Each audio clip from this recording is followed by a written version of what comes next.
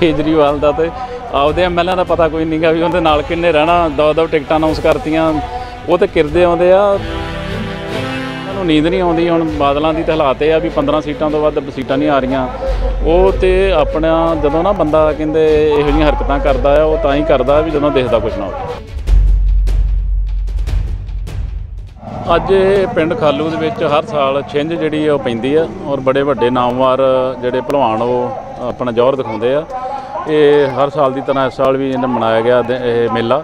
ਤੇ ਉਹਦੇ ਵਿੱਚ ਆ ਕੇ ਆਪਣੇ ਜਿਹੜੇ ਪਿੰਡ ਵਾਲੇ, ਸਾਡੇ ਇਲਾਕੇ ਵਾਲੇ ਸਾਰੇ, ਉਹ ਬੜੇ ਉਤਸ਼ਾਹ ਨਾਲ ਜਿਹੜਾ ਇਹ ਛਿੰਝ ਕਰਾਉਂਦੇ ਤਾਂ ਉਹਨਾਂ ਨੂੰ ਵਧਾਈ ਵੀ ਦਿੱਤੀ ਆ ਵੀ ਜਿਹੜਾ ਇਹ ਇਹੋ ਜਿਹੀਆਂ ਛਿੰਝਾਂ ਜਾਂ ਕਬੱਡੀ ਦੇ ਮੈਚ ਜਾਂ ਕੋਈ ਟੂਰਨਾਮੈਂਟ ਕਰਾਉਣਾ, ਉਹਦੇ ਨਾਲ ਜਿਹੜਾ ਨੌਜਵਾਨਾਂ 'ਚ ਜੋਸ਼ ਭਰਦਾ। ਕੇਜਰੀਵਾਲ ਦਾ ਕਹਿਣਾ ਹੈ ਕਿ ਕਾਂਗਰਸ ਦੇ 15 ਵਿਧਾਇਕ ਤੇ ਦੋ ਤਿੰਨ ਸਾਂਸਦ ਆਪ ਦੇ ਸੰਪਰਕ ਚ ਹਨ। ਕੇਜਰੀਵਾਲ ਦਾ ਤੇ ਆਪਦੇ ਐਮਐਲਏ ਦਾ ਪਤਾ ਕੋਈ ਨਹੀਂਗਾ ਵੀ ਉਹਦੇ ਨਾਲ ਕਿੰਨੇ ਰਹਿਣਾ ਦੋ ਦੋ ਟਿਕਟਾਂ ਅਨਾਉਂਸ ਕਰਤੀਆਂ, ਉਹ ਤੇ ਕਿਰਦੇ ਆਉਂਦੇ ਆ ਤੇ ਹੁਣ ਸਾਡੇ ਕੋਲ ਜਗ੍ਹਾ ਨਹੀਂ ਗਈ ਇਸ ਕਰਕੇ ਇਹ ਜਿਹੜਾ ਸ਼ੋਸ਼ਾ ਇਹੋ ਜਿਹਾ ਛੱਡਦਾ, ਉਹ ਤੇ ਲੋਕਾਂ ਨੂੰ ਸਭ ਪਤਾ। ਇੱਕ ਉਹਨਾਂ ਨੇ ਕਿਹਾ ਕਿ 1000 ਰੁਪਏ ਪ੍ਰਤੀ ਮਹੀਨਾ ਔਰਤਾਂ ਨੂੰ ਭੱਤੇ ਅਤੇ ਅਧਿਆਪਕਾਂ ਦੇ ਘਰ ਕੋਲ ਪੋਸਟਿੰਗ ਦਾ ਐਲਾਨ ਦੀ ਗੱਲ ਕਹੀ ਗਈ ਹੈ ਉਸ ਨੂੰ ਕਿਸ ਤਰ੍ਹਾਂ ਦੇਖਦੇ ਦੇਖੋ, ਮੈਂ ਸੋਚਦਾ ਇਹ ਪਤਾ ਨਹੀਂ ਕਿੱਡੀ ਕੁ ਗਰੰਟੀ ਦੇਣਾ ਹੀ ਦੇਣੀ ਇਹਨੇ ਤੀਜੀ ਉਹ ਦੇਖੋ, ਜਿਹੜੇ ਕੰਮ ਚੱਲ ਰਿਹਾ ਆ, ਜਿੰਨਾ ਕੁਝ ਸਰਕਾਰ ਸਾਡੀ ਕਰ ਰਹੀ ਆ, ਉਹਦੇ ਅੱਗੇ ਇਹਨਾਂ ਦਾ ਸਾਰਾ ਕੁਝ ਜਿਹੜਾ ਝੂਠ ਦਾ ਪਲੰਦਾ ਇਹ। ਔਰ ਇਹ ਲੋਕਾਂ ਨੂੰ ਮੂਰਖ ਬਣਾਉਣ ਦੀ ਕੋਸ਼ਿਸ਼ ਕਰਦਾ, ਇਹ ਲੋਕ ਪੰਜਾਬ ਦੇ ਸਿਆਣੇ ਮੂਰਖ ਨਹੀਂ ਬਣਨਗੇ।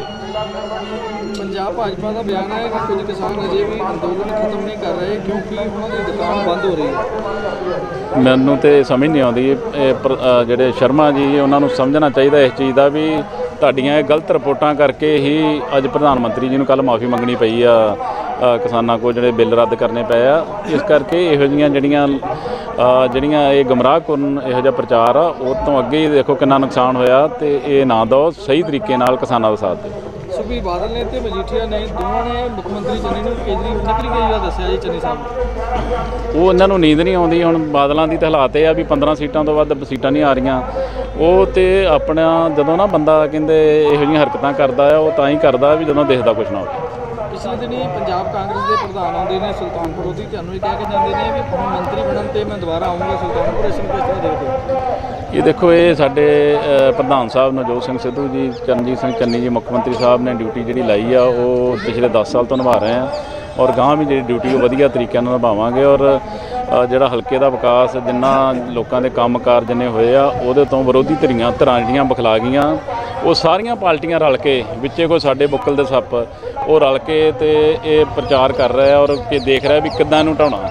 ਬਾਬਾ ਨਾਨਕ ਨਾ ਢਾਵੇ, ਲੋਕ ਨਾ ਪ੍ਰਮਾਤਮਾ ਦੀ ਕਿਰਪਾ ਨਾਲ ਲੋਕਾਂ ਦਾ ਪਿਆਰ ਆ। ਇਹ ਜਿਹੜੇ ਬੁੱਕਲ ਦੇ ਸੱਪ ਜਿਹੜੇ ਪਾਰਟੀਆਂ ਦੇ ਵਿੱਚ ਬੜੇ ਬੈਠੇ, ਜਿਹੜੇ ਮਜੀਠੀਏ ਦੀ ਵੀ ਟੀਮ ਆ ਮੈਂ ਕਹਿ ਸਕਦਾ, ਉਹ ਵੱਡੇ ਵੱਡੇ ਅਹੁਦੇ ਲੈ ਕੇ ਕਾਂਗਰਸ 'ਚ ਬੈਠੇ ਆ ਔਰ ਕਾਂਗਰਸ ਪਾਰਟੀ ਨੂੰ ਹੀ ਨੁਕਸਾਨ ਪਹੁੰਚਾ ਰਿਹਾ ਇਹ ਇਹੋ ਜਿਹੇ ਲੋਕਾਂ ਨੂੰ ਜਵਾਬ ਆ ਜਿਹੜਾ ਉਹ ਪ੍ਰਧਾਨ ਸਾਹਿਬ ਨੇ ਦਿੱਤਾ ਤੇ ਜਿਹੜੀ ਵੀ ਡਿਊਟੀ ਜੇ ਲਾਉਣਗੇ, ਉਹ ਵਧੀਆ ਤਰੀਕੇ ਨਾਲ ਨਿਭਾਉਣਗੇ।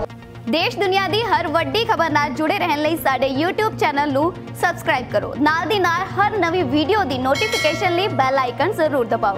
ਜੇਕਰ ਤੁਸੀਂ ਇਹ ਵੀਡੀਓ Facebook ਤੇ ਦੇਖ ਰਹੇ ਹੋ ਤਾਂ ਇਸ ਨੂੰ ਲਾਈਕ ਜ਼ਰੂਰ ਕਰੋ ਔਰ ਜ਼ਿਆਦਾ ਤੋਂ ਜ਼ਿਆਦਾ ਸ਼ੇਅਰ ਵੀ ਕਰੋ। ਧੰਨਵਾਦ।